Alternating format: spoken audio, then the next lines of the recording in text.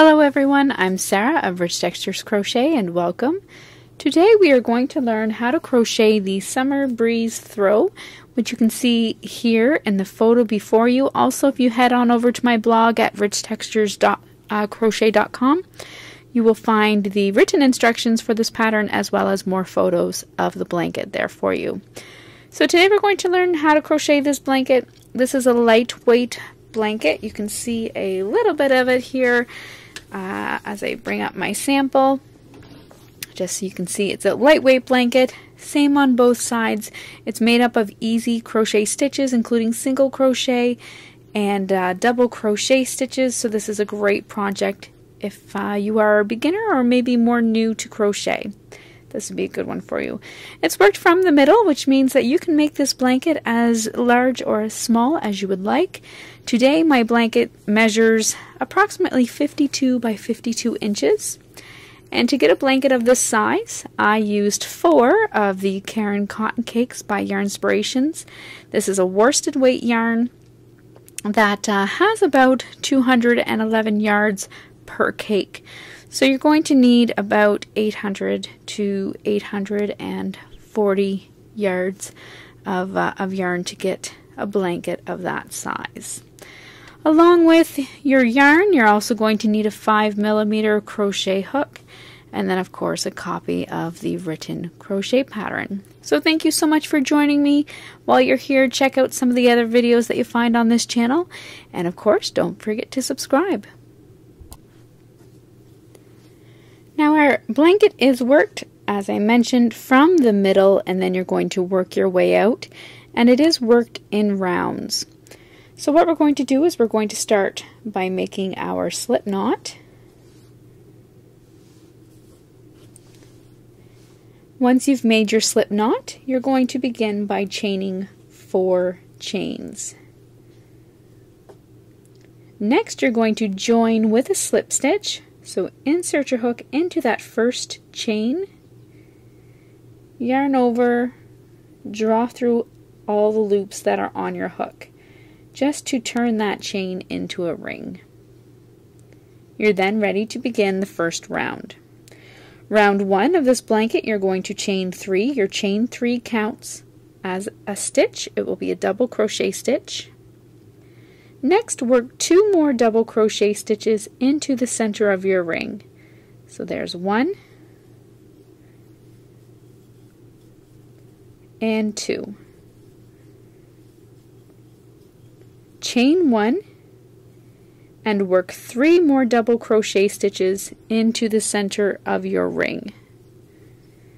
You're going to do that a total of three times. So that's the first one. Chain one, three double crochets into the center of your ring. This is the second repeat.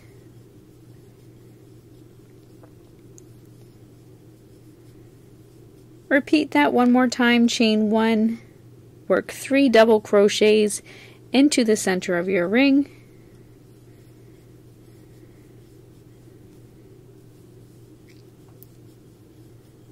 chain one, and now join with a slip stitch into the top of your starting chain three.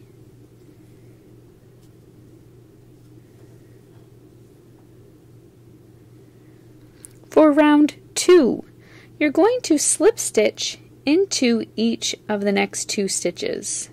So into that first stitch, slip stitch, into the next double crochet slip stitch, over to this chain one space.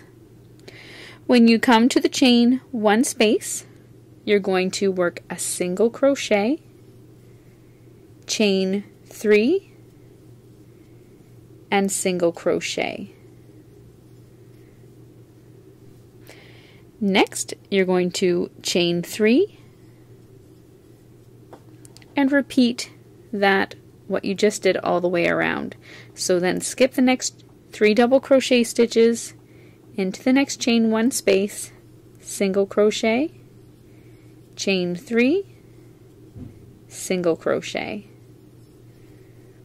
chain three, skip the next three double crochets into the next chain one space, single crochet, chain 3, and single crochet.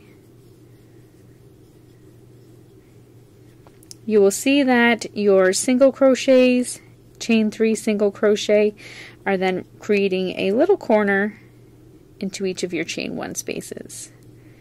Once you've worked your single crochet, chain 3 single crochet into your final corner, you're going to chain 3 and then join with a slip stitch into that first single crochet stitch.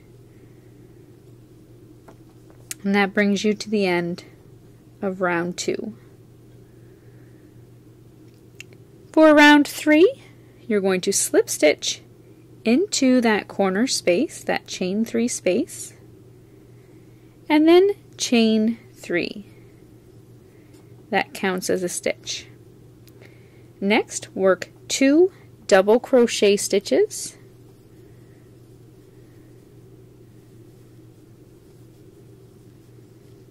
Chain one and two, three double crochet stitches all into that same chain three space.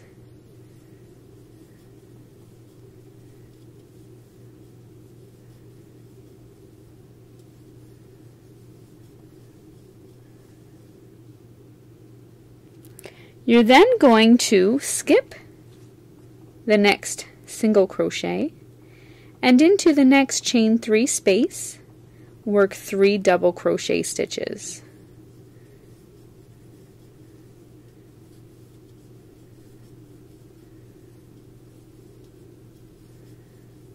all into the same space. Skip the next single crochet stitch.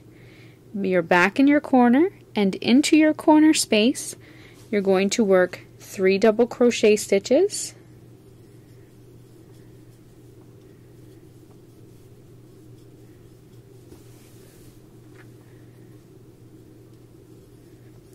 chain one and three more double crochet stitches all into the same chain three space.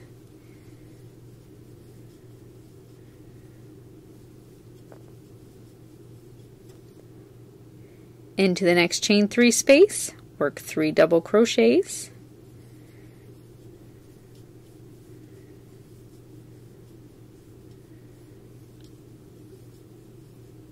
This brings you to your next corner and you're going to repeat. Three double crochets chain one three double crochets all into that same corner space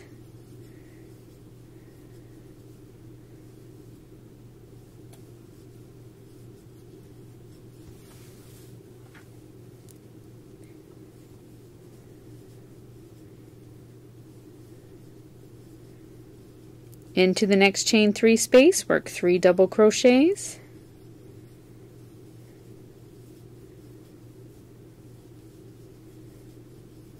You'll be back around to your next corner. Three double crochets chain one and three double crochets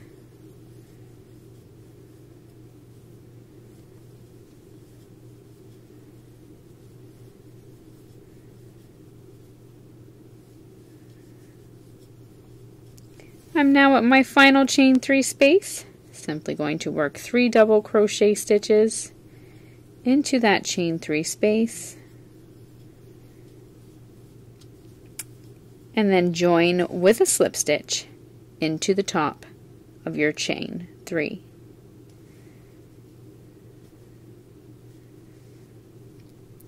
And that brings you to the end of round 3.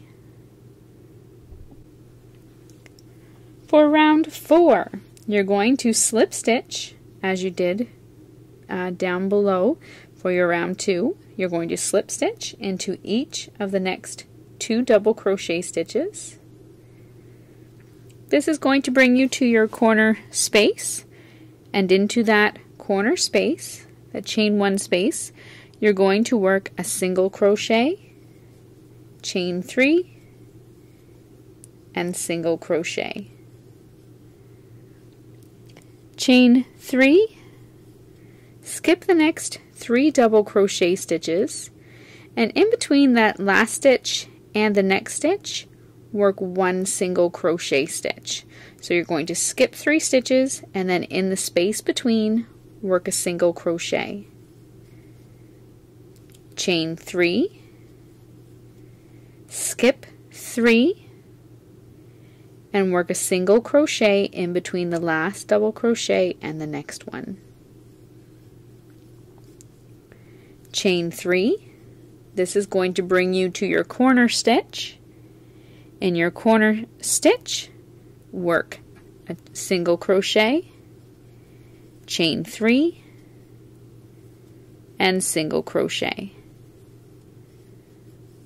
You're then going to repeat across uh, the other three sides. So chain three, skip the next three double crochet, and single crochet in the next space in between the two stitches. Chain 3, skip 3, single crochet in between that last stitch and the next one. Chain 3, skip 3, and into your corner stitch, work a single crochet, chain 3, and single crochet. Repeat that all the way around and then end with a chain three and a join with a slip stitch into that first single crochet stitch.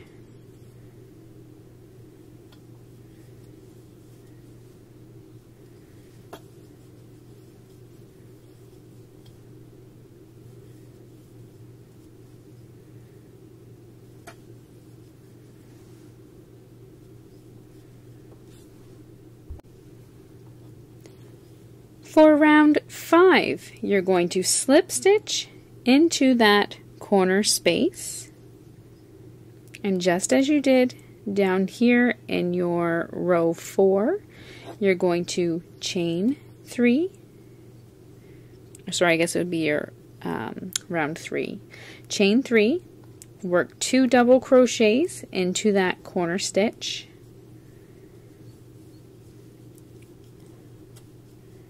chain one and work three more double crochets all into that corner space.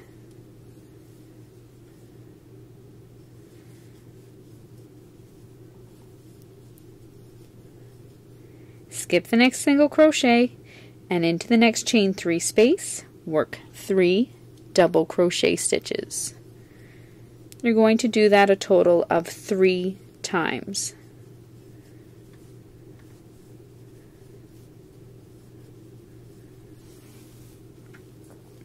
Skip the next single crochet into the next chain three space. Three double crochet stitches.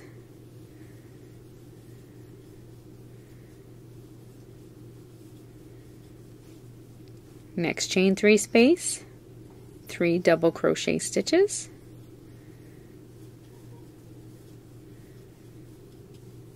That will bring you across to your corner stitch into your corner or your corner space, into your corner space, you will work three double crochets. All into the space, chain one,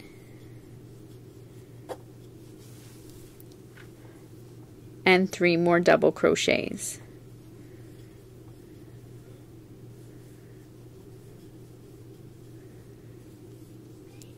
Just as you did for the first side, you're then going to repeat that all the way across. So into your next chain three space, work three double crochet stitches. You're going to do that a total of three times to your next corner. Then in your next corner, you'll work your three double crochets, chain one and three double crochets, and continue to repeat that all the way around. When you come back to that starting chain three, you're going to join with a slip stitch into the top of your starting chain three.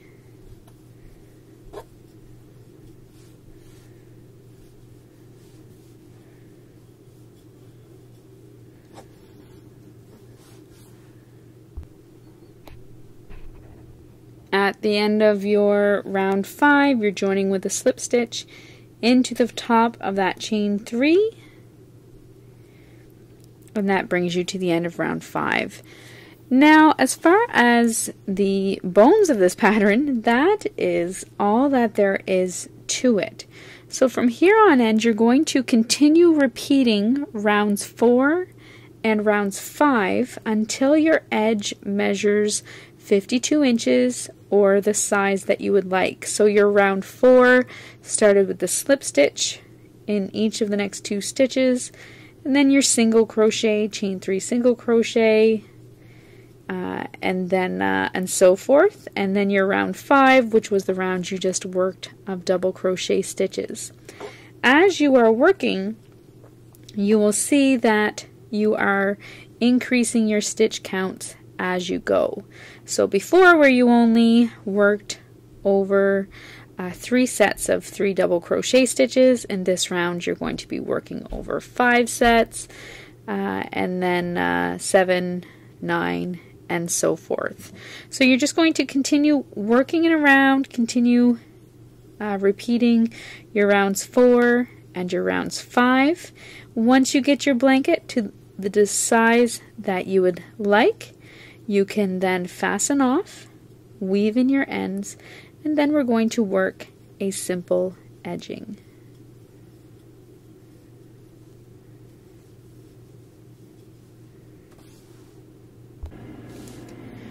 Now once you've worked your blanket to the desired size, I've stopped here at the end of round 6, but you're going to, going to keep going uh, to your desired size. Once you've fastened off, you can weave in your ends and you're then going to work a simple edging all the way around. To work the edging on your blanket, at the first stitch uh, and any side, you can join your yarn with a slip stitch just into the top stitch. You're then going to work one half double crochet in each stitch all the way across, working three half double crochets into each corner stitch. So half double crochet into each stitch all the way across your top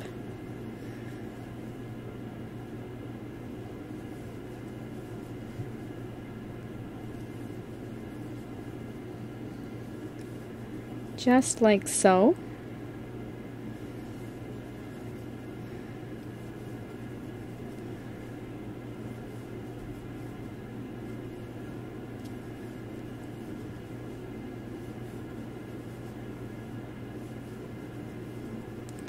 until you come to your corner space. When you come to that corner space, into that chain one space work three half double crochet stitches. So there's one two and three. That's going to bring you around to the next side and then half double crochet again in each stitch all the way across. Do that all the way around working three half double crochets in each corner one half double crochet in each stitch across the side and then join with a slip stitch into the top of that first stitch.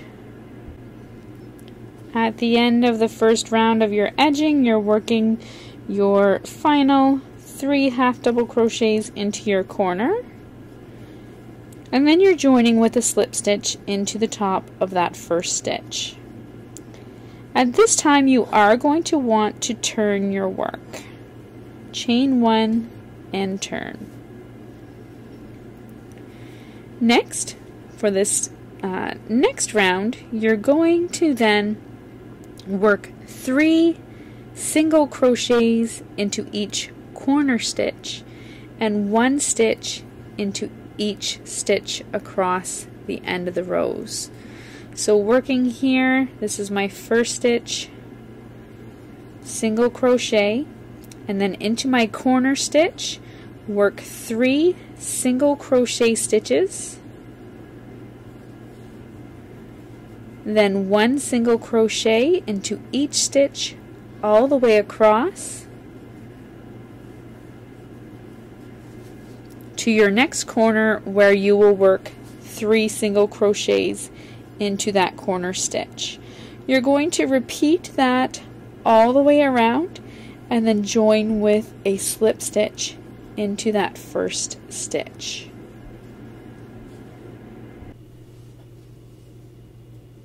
At the end of that second round of single crochets, you're going to join with a slip stitch into the first stitch. You can then fasten off,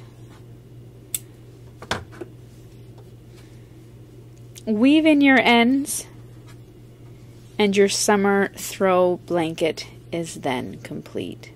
So thank you so much for joining me. I love to see pictures of your finished products or your works in progress. Uh, so you can uh, share those with me across social media, Facebook, Instagram. I would love to see them and hear how you are doing. So thank you so much for joining me. Don't forget to subscribe and I look forward to seeing you again soon. Until then, happy crocheting. Bye.